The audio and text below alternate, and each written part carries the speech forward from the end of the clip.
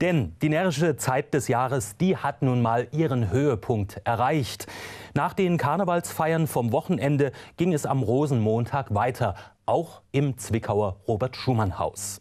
Wie in jedem Jahr lud die Einrichtung an diesem Tag zum Kinderfasching bei Schumanns ein, obwohl der große Sohn der Stadt Zwickau diesmal nicht im Mittelpunkt stand.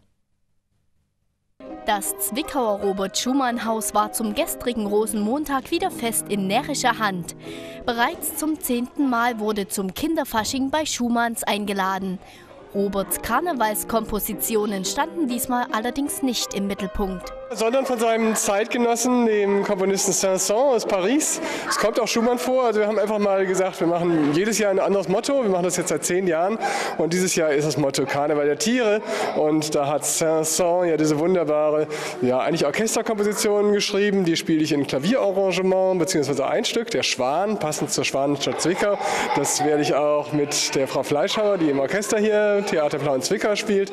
Die hat ganz spontan heute Morgen zugesagt, als ich sie angerufen hat. Sie macht das mit. Das finde ich ganz super. Und so werden wir den Schwan dann mit Cello und Klavier spielen können. Bei den Kindern kam die etwas andere und ausgesprochen bewegliche Einführung in den tierischen Karneval von Camille Sanson super an.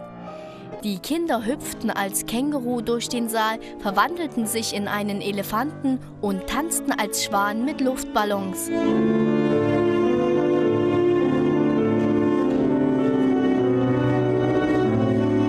Cellistin Regina Fleischhauer spielte dazu mit einer Schwanenfeder und wurde von einem klavierspielenden Esel begleitet.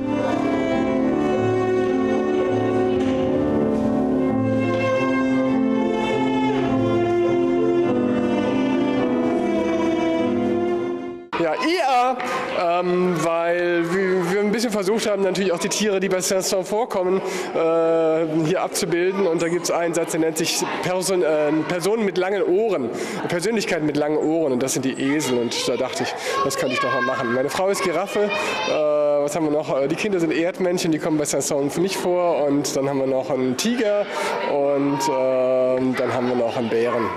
Dieser Vielfalt an Kostümideen wollten die Besucher des Kinderfaschings natürlich nicht nachstehen.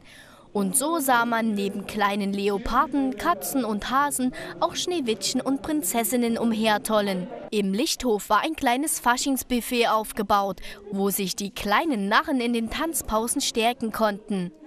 Neben Bewegungsspielen wie dem Schildkröten-Konkong gab es die Möglichkeit, einzelne Tiere des Saint-Saënschen Karnevals in Papierfalttechnik zu basteln und mit nach Hause zu nehmen.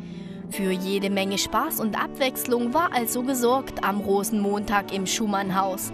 Schon jetzt darf man gespannt sein auf das neue Kostüm, mit dem Thomas Sinowczyk die Besucher im kommenden Jahr begrüßen wird.